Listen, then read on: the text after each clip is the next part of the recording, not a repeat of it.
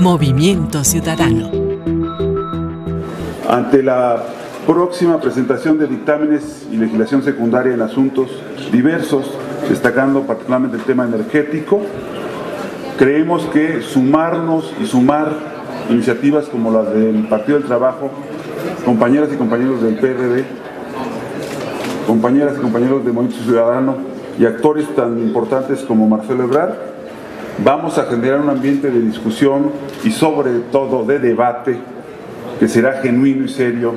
ante la renuencia de los que creen que pueden imponerse.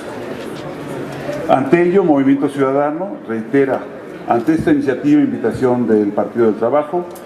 que creemos firmemente en la convocatoria para conformar este polo progresista en la Cámara de Diputados, pero también en la Cámara de Senadores, para revisar, analizar, discutir leyes secundarias que de no ser combatidas